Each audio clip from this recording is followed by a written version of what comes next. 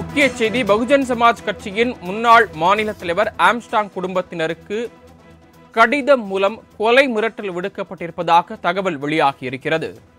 கூடுதல் விவரங்களுக்காக செய்தியாளர் ராகவேந்தர் இணைப்பில் காத்திருக்கிறார். ராகவேந்திரன் இது குறித்த மேலும் தகவல்கள். வணக்கம். பகுஜன் சமாஜ் கட்சியின் முன்னாள் மாநில தலைவர் ஆம்சாங் கடந்த மாதம் ஐந்தாம் தேதி சென்னை பெரம்பூரில் வெட்டி படுகொலை செய்யப்பட்டார். இந்த கொலை வழக்கில் இதுவரை இருபத்தி ஓரு பேர் கைது செய்யப்பட்ட நிலையில் மேலும் ஆறு பேரை போலீசார் வலைவீசி தேடி வருகின்றனர்.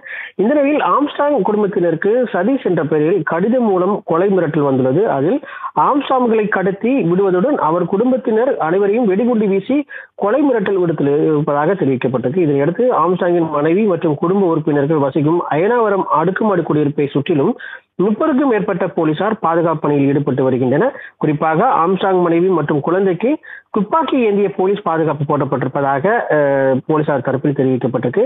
இது தொடர்பாக சந்தேகத்தின் பேரில் ஒருவரை அழைத்து வந்து செம்பியம் போலீசார் விசாரணை நடத்தி வருவதாகவும் போலீசார் தரப்பில் தெரிவிக்கப்பட்டிருக்கு. இந்த சம்பவம் சென்னையில் பெரும் பரபரப்பை ஏற்படுத்தியிருக்கிறது சரவணன் தாங்கள் வழங்கிய தகவல்களுக்கு நன்றி ராகவேந்தர்.